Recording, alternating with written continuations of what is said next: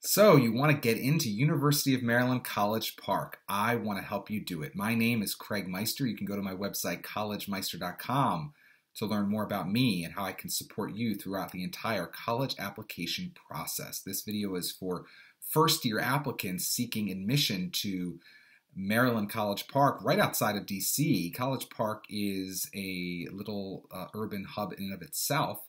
But again, it's a hop, skip, and a jump away from all the excitement in Washington, but there's a lot to do in terms of extracurricular activities and sports to watch and people to meet on the University of Maryland College Park campus, campus itself. So much so that many students don't go off campus nearly as much as you would expect, considering how close the institution is to Washington, D.C. Tip number one if you are serious about wanting to get into University of Maryland College Park, whether you're a ninth grader or a rising 12th grader, you should certainly read my classic article, How to Get Into the Ivy League Ethically. It is linked below this video. That article is over at admissions.blog. Again, the link is below this video. There is no question that University of Maryland College Park is not an Ivy League school. So you may be wondering, why am I suggesting that you read this article about how to get into an Ivy League school ethically? Well, if you can follow all of the advice in that article, you will be able to catapult your way into University of Maryland College Park no problem.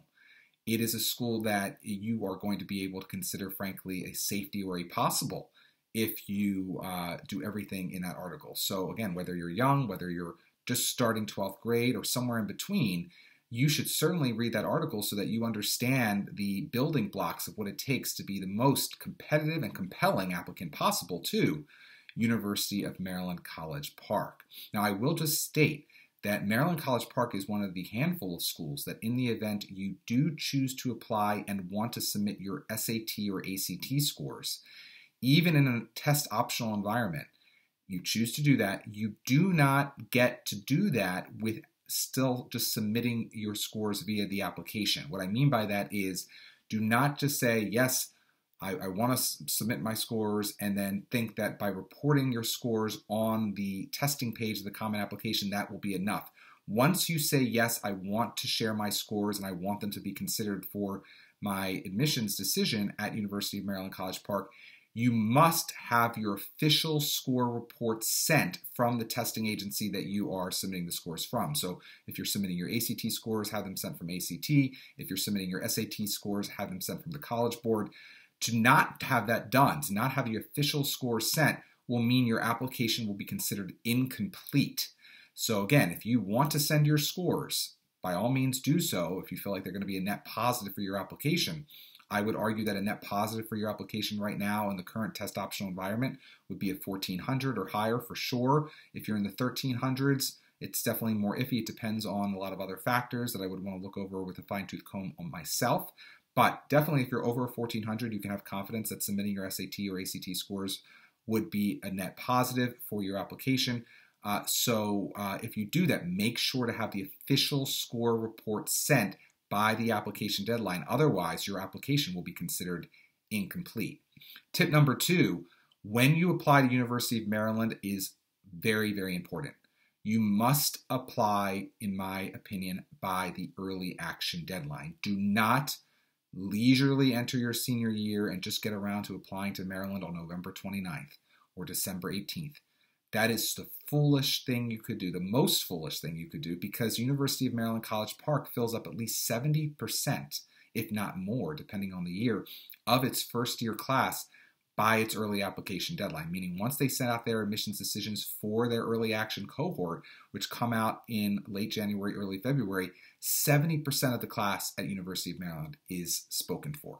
So you are really skating on thin ice if you choose to apply regular decision. The expectations of what your application must look like and should provide to Maryland are going to be quite a bit higher if you apply regular than if you apply early action. So make sure that you get in on that priority deadline. They actually used to call that deadline the priority deadline at University of Maryland because, as you may uh, guess, students are given priority if they apply by early action. So it's sort of written in the old way that they uh, marketed it. They don't market it like that anymore, but it, it still in some places on the website says this is the priority deadline. So take them at their word. Early action students get priority over regular decision students at University of Maryland College Park.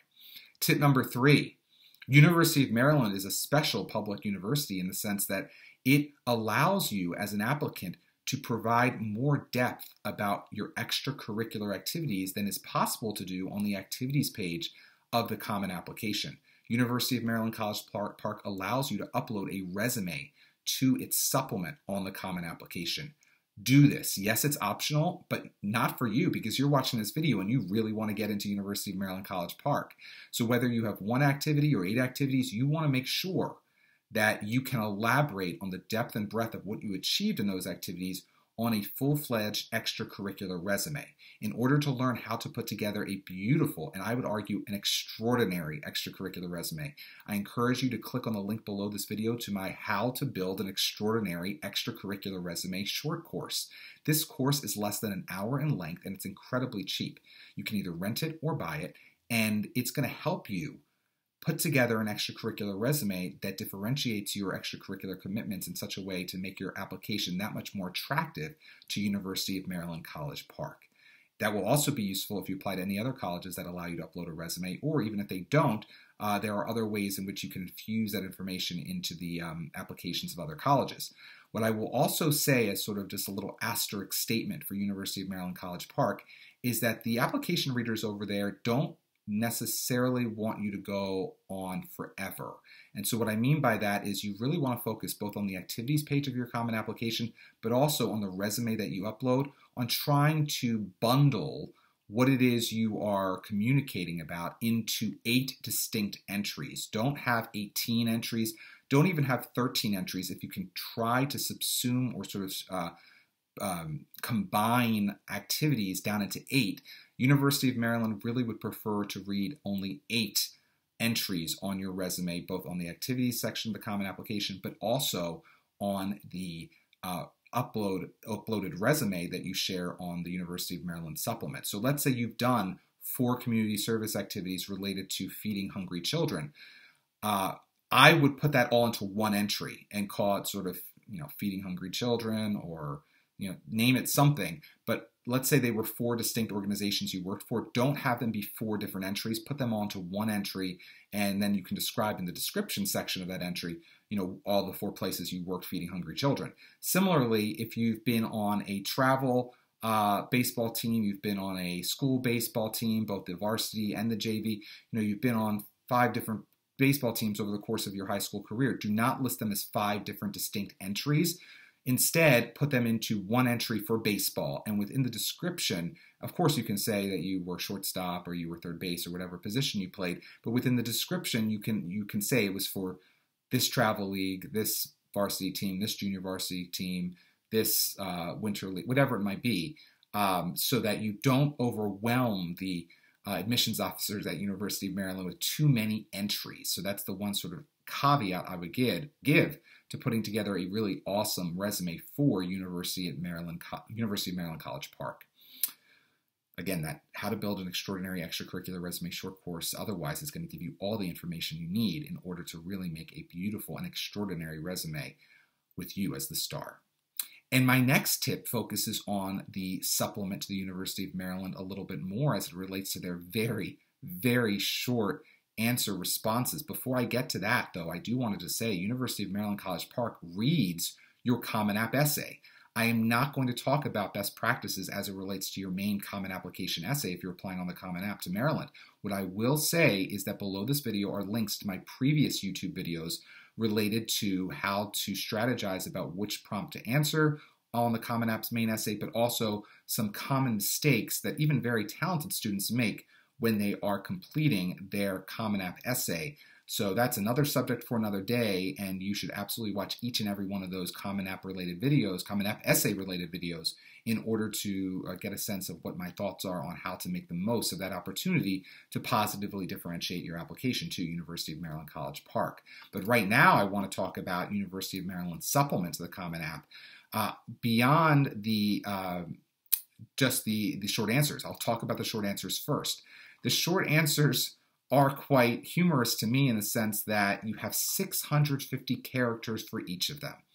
For the first one, two, three, four, five, you have to answer, you should literally be starting your statement as if you are finishing a sentence. Do not start a new sentence because you're you're literally finishing a sentence for those first five statements. So for instance, uh, sentence number one, if I could travel anywhere, I would go to dot dot dot. A- answer the question by finishing the sentence. Don't just say, if I could travel anywhere, you're that in that case you're you're wasting five words right there. If I could travel anywhere it was already stated, but now you're starting a new sentence. Don't do that. Just literally finish the sentence. So if I could travel anywhere, I would go to Japan because I love sushi, or uh, Hungary because I love awesome European architecture, or Morocco because I really like baklava. So, you know, you have to try to finish the darn sentence, follow the instructions. You'd be surprised at how many incredibly smart students start like writing an essay in terms of their 650 character response. You don't have 650 words, you have 650 characters. That's closer to 75 to 100 words. So as a result, just finish the sentence. You can have a long sentence. I don't just end with I like classic European architecture or I like sushi. You can say five different things about Japan that you like, uh, but or you would like to see in person. Uh, but also, you can also try to relate it back to you and maybe a course you've taken about Japan or Japan, Japanese history, or maybe your cultural background because maybe your grandmother is from Japan, whatever it might be. You know, you can try to make those personal cases, but you can't really fail these first five short answer responses unless you just don't follow the directions and or if you have bad grammar or syntax. Otherwise, just make sure you have put a period at the end. You're capitalizing the right things. You're lowercasing the right things. Again, don't just start with a capitalized letter because it's it, it's the first word in it, that you're writing. Only start with a capitalized letter if it's a proper noun. It requires capitalization because remember you're starting the sentence mid sentence. Um, and you're finishing a sentence that University of Maryland's admissions officers have already started. So again, if I could travel anywhere, I would go to dot dot dot, finish the sentence in 650 characters or fewer. The next one is the most interesting fact I ever learned from research was dot dot dot. A lot of kids will go onto Google and just find some random facts. Again, try to relate it to something you're actually interested in and you've actually researched on your own because that would be more indicative of your authentic self. Uh, but if you're really at a loss, I guess you could do that. But again, the big thing is here: the only way you will fail is if you pick something too common and or uh, you have bad syntax or grammar and you don't really finish a sentence, but rather start your own or maybe have multiple sentences. Uh, don't do that. Um, again, this is not very complicated. Don't overcomplicate it, but read the darn directions. In addition to my major, my academic interests include dot dot dot is the third prompt. Again, this is an opportunity to show a little bit different side of yourself or sides of yourself. What other areas of interest do you have uh, that sort of are intellectual or academically uh, related? This, you know, could be a minor area. This could be just something else that you know there are courses available on and you like to take in college again, this is your academic interest. This is not just your interest in music or your interest in um, you know sports. This is actually academic interest. So read the, the prompt carefully and finish the sentence, and make sure again you have a period at the end of your sentence. My favorite thing about last Thursday was dot dot dot again, um, they they're not going to fact check on what you really did last Thursday. If you can truly be authentic and honest, do it. But otherwise, if there's some random things that have happened to you in the last few weeks that were really awesome, or you have a favorite moment from the past month, you could potentially argue it happened last Thursday and just write about it there. Just again, make sure that your grammar is correct, correct, your spelling is correct, your your syntax is correct, everything is correct as you finish this sentence.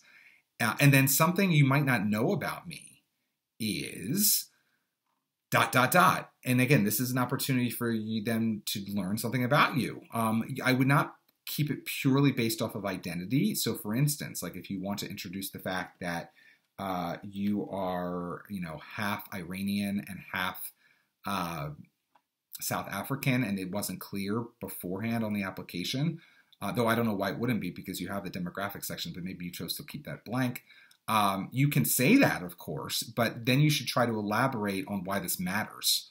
Um, you know, similarly, you know, maybe you really like uh, mint chocolate chip ice cream. Uh, you can say that, but then explain why that part of your identity should matter to them. Uh, is it because you really like sweet things? You like the color green? I don't know. Why do you like mint chocolate chip? Does it have some other uh, meaning to you? Maybe your mom really liked it and she passed away, and so you like to eat it in her absence. Um, any number of reasons could apply to you, of course, but don't just end with a very short response. That's another big mistake you could theoretically make with all five of these, which is even though you have 650 characters, you only use 100 of them. That would be a mistake. Why not use as much of the opportunity as is available to you as possible to write sort of a long sentence? So don't just say something you might not know about me is I like the color purple, period. I mean, just ending like that, that's sort of like a cliffhanger. Try to explain why you like the color purple and why that should matter to the people who are considering you for admission at University of Maryland College Park. And then finally, there is a new question this year. New, um, it's not really even a sentence you need to complete. Now you actually have the opportunity to write 650 words from scratch, meaning you can start your own sentence uh, in response to this uh, new prompt. Because we know, and of course, I always tell students don't start a sentence with because, but University of Maryland College Park does just that. Because we know that diversity benefits the educational experience of all students. The University of Maryland values diversity in all of its many forms. This includes, but is not limited to, racial, socioeconomic, gender, geographical, and sexual orientation. We are interested in hearing about your own individual life experiences. In a few sentences, will you please describe how you have learned, grown, been inspired, or developed skills through one or more components of diversity. You again only have 650 words with which to respond to this short answer prompt for University of Maryland College Park. My argument would be you need to show yourself learning about um, either someone with a relatively unique background and how you benefited from hearing that person's perspective or meeting that person or becoming friends with that person and what and sort of what that taught you. Again you only have 650 words. You can't write really write a book here but that's basically you know 75 to 100 words.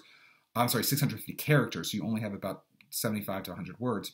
Or you can just come out loud and proud as someone who is hispanic and talk about your interaction with people who are not Hispanic and how that interaction has caused you to learn more about others who are not Hispanic, but also allowed you to maybe educate those with whom you interact about what it means to you to be Hispanic. And therefore, there's been sort of this uh, uh, symbiosis happening where you benefit from it and those who are not Hispanic benefit from it.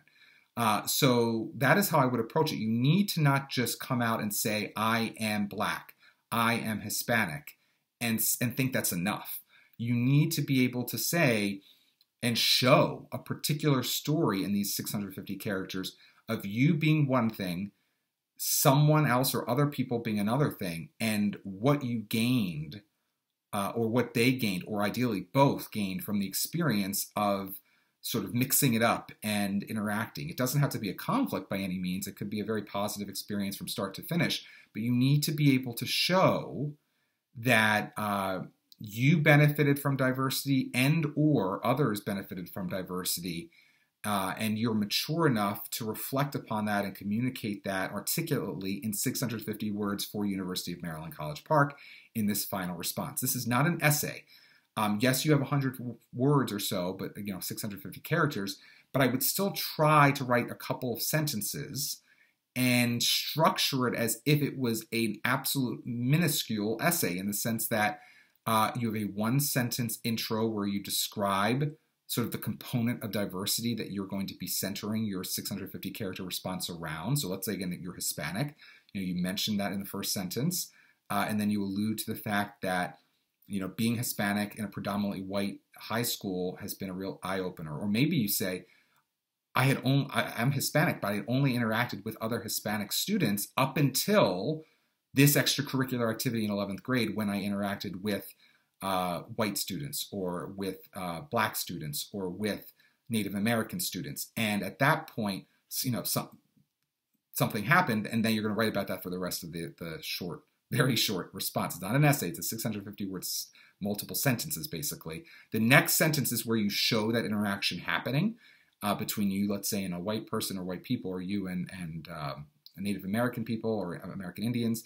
And then you close with a concluding sentence of what you got out of that experience. So you basically have three sentences here, probably, since you have 650 characters. At most, you probably have three sentences. So um, I wish you the very best of luck um, because this is not a lot of words. But again, you're trying to show growth. You're trying to show a light bulb moment. You're trying to show that you and or someone else or others have benefited from the interaction of two different types of people mixing. Okay. Beyond that, I do want to just close with a very important fact about University of Maryland College Park for you to keep in mind when you're applying. There are things called limited enrollment programs at University of Maryland College Park. So if you are applying to a limited enrollment program major, you will be prompted to provide a second choice major. If you are not applying to a limited enrollment program, you will not be prompted to provide a second choice major. So think long and hard about who you authentically are today and who you authentically want to be in the future. And I would put your first choice major as truly your first choice major. However, in the event you are deciding between one of the LEPs, the limited enrollment programs, versus a non LEP program, I'd probably put the LEP first because you always have the opportunity to be considered for your second choice as well. Second, otherwise, if you put the non LEP first, then you're not going to get a second choice. So you might as well get a two for one sale, right, for University of Maryland College Park and get to put two majors. If there's any doubt about what you want to major in, and if one of those programs is an LEP, put the LEP as your first choice, and then you'll be given the opportunity to put a second choice major as a second choice. Whereas if you put only a non LEP program as your first choice major, that's it for you and that is the major that you'll be applying with for University of Maryland College Park. My name is Craig Meister. I hope you enjoy this video. If you would like to learn more about me and how I can support you through the entire college application process, go to my website, collegemeister.com. Otherwise, please give this video a thumbs up. Please subscribe to my channel and please tell your family and friends about it because even though you may not be done with the college application process because you have been edified by today's video, Others may benefit from this video in the future or my back catalog of videos, which again you can find at youtube.com slash collegemeister. Until next time, stay safe and stay well, and by goodness gracious, I wish you the very best of luck getting into your dream school, maybe. Maybe it's your dream school, University of Maryland, College Park. Go Terps.